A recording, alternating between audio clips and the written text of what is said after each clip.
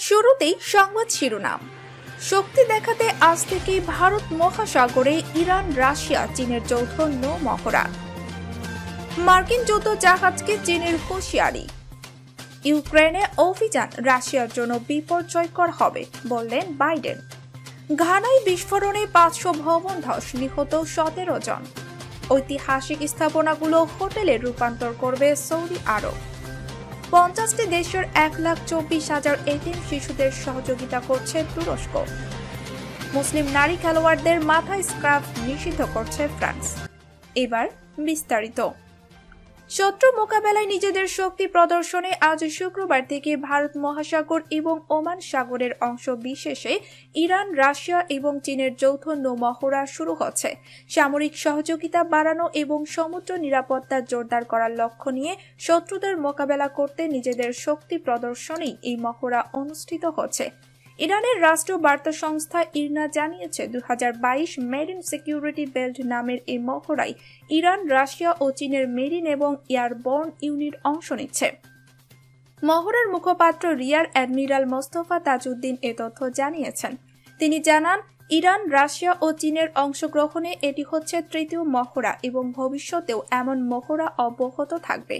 আজকের এই মহড়ার মূল স্লোগান হচ্ছে শান্তি ও নিরাপত্তার জন্য ঐক্য, যা সমুদ্রের সতেরো হাজার বর্গ কিলোমিটার এলাকা জুড়ে অনুষ্ঠিত হবে। রিয়াল অ্যাডমিরাল তাজ উদ্দিন জানান, এই মহড়ার লক্ষ্য হচ্ছে আঞ্চলিক নিরাপত্তা জোরদার করা এবং তিন দেশের মধ্যে বহুপক্ষীয় সহযোগিতা প্রতিষ্ঠা করা। এছাড়া বিশ্ব শান্তি এবং সমুদ্র নিরাপত্তার প্রতি তিন দেশের যৌথ সমর্থনের বিষয়টিও মহড়ার মাধ্যমে তুলে ধরা আরেকটি লক্ষ্য।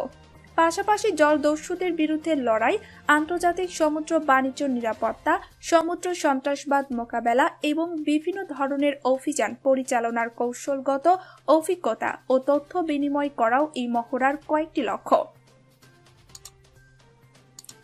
দক্ষিণ চীন সাগরে মার্কিন জাহাজের উপস্থিতির বিরুদ্ধে হুঁশিয়ারি উচ্চারণ করে চীনের সামরিক বাহিনী বলেছে আমেরিকার যুদ্ধ জাহাজগুলোকে দক্ষিণ চীন সাগর থেকে দূরে থাকতে হবে।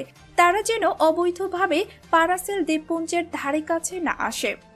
দক্ষিণ চীন সাগরে মোতায়েন চীনের লিবারেশন আর্মি আজ এক বিবৃতিতে এই হুঁশিয়ারি দিয়েছে। বিবৃতিতে বলা হয়েছে, মার্কিন ডেস্ট্রয়ার ইউএসএস বেন ফোল্ড চীন সরকারের অনুমতি ছাড়া পারাসেল দ্বীপপুঞ্জে প্রবেশ করেছে, যার মাধ্যমে চীনের সার্বভৌমত্ব, যার মাধ্যমে চীনের সার্বভৌমত্ব লঙ্ঘন হয়েছে। পিপলস লিবারেশন আর্মির বিবৃতিতে আরও বলা হয়, চীনা নৌবাহিনীর এবং বিমান বাহিনী মার্কিন যুদ্ধ জাহাজকে অনুসরণ করেছে এবং বিতর্কিত দ্বীপপুঞ্জ এলাকার আশপাশ থেকে জাহাজটিকে চলে যেতে বলেছে। বহুদিন ধরে দক্ষিণ চীন সাগর নিয়ে আমেরিকা ও চীনের মধ্যে দ্বন্দ্ব চলছে। আমেরিকা বলছে, দক্ষিণ চীন সাগরে বেইজিং কৃত্রিমভাবে দ্বীপ নির্মাণ করে নিজের পানির সীমা বাড়িয়ে নিচ্ছে চীন। এতে আন্তর্জাতিক জাহাজ চলাচলের পথ সংকুচিত হয়ে আসছে। অন্যদিকে চীন বলছে পারাসেল দ্বীপপুঞ্জ প্রাকৃতিকভাবে তৈরি এবং এটি চীনের নিজের পানিসীমায় অবস্থিত। এ অঞ্চলে মার্কিন সামরিক বাহিনীর উপস্থিতিকে চীন অবৈধ বলে মনে করে। ইউক্রেন ইস্যুতে যুক্তরাষ্ট্র ও রাশিয়ার মধ্যকার উত্তেজনা ক্রমশ বেড়েই চলেছে। এমন পরিস্থিতিতে মার্কিন প্রেসিডেন্ট জো বাইডেন বুধবার রাশিয়াকে সতর্ক করে বলেছেন ইউক্রেনে পূর্ণ মাত্রার সামরিক অভিযান চালালে রাশিয়াকে চড়া মূল্য দিতে হবে। তবে তিনি পরামর্শ দিয়ে বলেন, সীমিত আকারে অনুপ্রবেশের মাধ্যমে বিভ্রান্তি সৃষ্টির চেষ্টার ব্যাপারে পশ্চিমের প্রতিক্রিয়া যথেষ্ট কম হবে। বাইডেন বলেন, তিনি বিশ্বাস করেন না যে প্রেসিডেন্ট ভ্লাদিমির পুতিন যুদ্ধ চান। তবে তিনি বলেন, রুশ নেতা এমন একটি পরিস্থিতি তৈরি করেছেন যা নিষ্ক্রিয় করা কঠিন হয়ে যাবে এবং এটি সহজেই এই অঞ্চলের নিয়ন্ত্রণ হাতছাড়া করে দিতে পারে।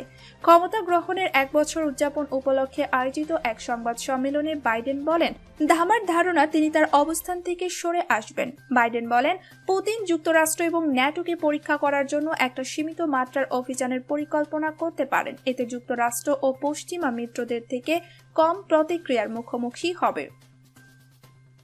পশ্চিম আফ্রিকার দেশ ঘানায় ভয়াবহ বিস্ফোরণে সতেরো জন নিহত হয়েছেন। এ ঘটনায় আহত হয়েছেন অন্তত উনষাট জন। আহতদের অনেকেরই অবস্থা আশঙ্কাজনক। হতাহতের সংখ্যা আরও বাড়তে পারে বলে আশঙ্কা করা হচ্ছে। বৃহস্পতিবার দেশটির সরকারের পক্ষ থেকে বিষয়টি নিশ্চিত করা হয়েছে। এ খবর জানিয়েছে সংবাদ মাধ্যম এএফপি। ঘানায় স্বর্ণখনির কাজে ব্যবহৃত বিস্ফোরক বহনকারী একটি গাড়ি মোটরসাইকেলের সঙ্গে সংঘর্ষের পর বিস্ফোরণের ঘটনা ঘটে। বিস্ফোরণে ভেঙে পড়েছে পাঁচশো ভবন। ঘানার পশ্চিম অঞ্চলের বেগোসো এবং বাইডি শহরের মধ্যে অ্যাপিয়াতে বিস্ফোরণটি ঘটে। এ অঞ্চলে কানাডার মালিকানাধীন একটি স্বর্ণখনি কিনরস রয়েছে। সামাজিক যোগাযোগ মাধ্যমে ছড়িয়ে পড়া ভিডিও ফুটেজে দেখা যায়, বিস্ফোরণে বহু ঘরবাড়ি ধ্বংস হয়ে গেছে। স্থানীয়দের দাবি, স্বর্ণ উত্তোলনের জন্য ট্রাকে করে বিস্ফোরক নিয়ে যাওয়া হচ্ছিল খনি এলাকায়। এ সময় ট্রাকে বিস্ফোরণ ঘটে। এতে তৈরি হয় ভয়াবহ পরিস্থিতি। দেশটির প্রেসিডেন্ট নানা আকুফ ও অ্যাডো বলেন, বিস্ফোরণের ফলে বহু জীবনের ক্ষয়ক্ষতি হয়েছে। তবে ঘটনার বিস্তারিত কিছু জানাননি তিনি। পুলিশ এক বিবৃতিতে জানিয়েছে, প্রাথমিকভাবে নিশ্চিত হওয়া গেছে যে স্বর্ণখনির জন্য বিস্ফোরক বহনকারী গাড়ির সঙ্গে মোটর সাইকেলের সংঘর্ষের ফলে এ বিস্ফোরণ ঘটে। পুলিশের তরফ থেকে স্থানীয়দের নিরাপদে থাকার জন্য ওই এলাকা ছেড়ে আশপাশের এলাকায় যেতে আহ্বান জানানো হচ্ছে। সৌদি আরবে সারা বছর পর্যটকদের আকৃষ্ট করতে নানা উদ্যোগ নিচ্ছেন crown prince Mohammed bin Salman.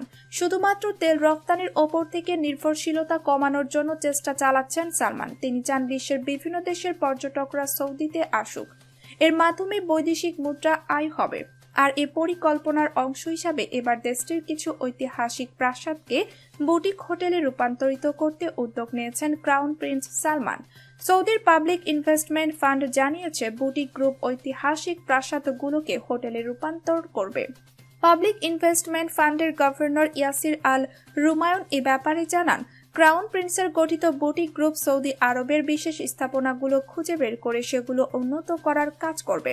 তিনি আরও জানান, এই স্থাপনাগুলো দেশটির অর্থনৈতিক উন্নতি ও তেল রপ্তানির বাইরে জিডিপি বাড়াতে সহায়তা করবে।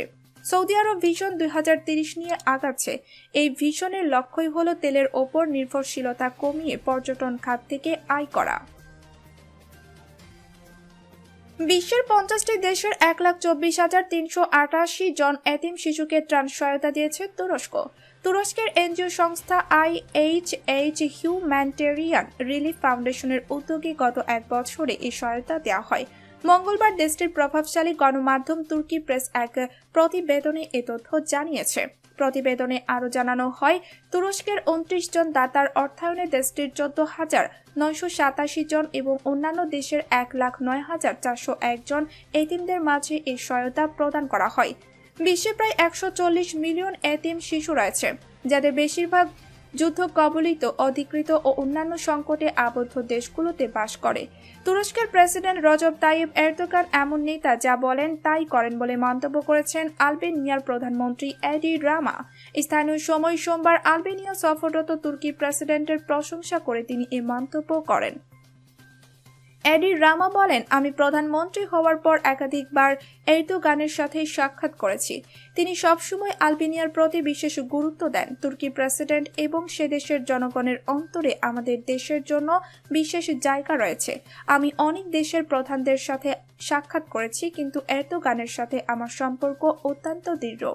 তিনি এমন একজন নেতা, যা বলেন, তাই করেন। একই সাথে বিভিন্ন সময়ে আলবেনিয়ার প্রতি সমর্থন এবং দেশটির একটি বিশেষ দিনে এরদোগানের উপস্থিতির কারণে তার প্রতি কৃতজ্ঞতা জানান Albanian parliament president Lindita Nikolla.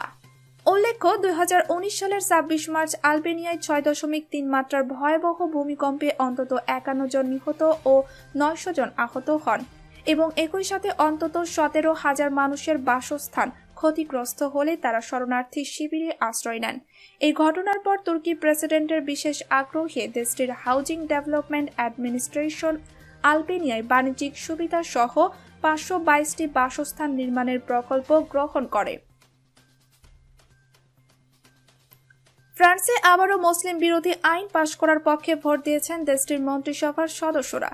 নতুন আইনে দেশটির মুসলিম নারী খেলোয়াড়দের মাথায় স্কার্ফ নিষিদ্ধ করা হয়েছে, খবর আরব নিউজের।